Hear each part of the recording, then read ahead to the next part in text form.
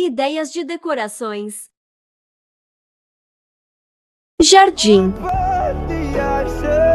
Quarto. Cozinha. Sala. Espero ter ajudado.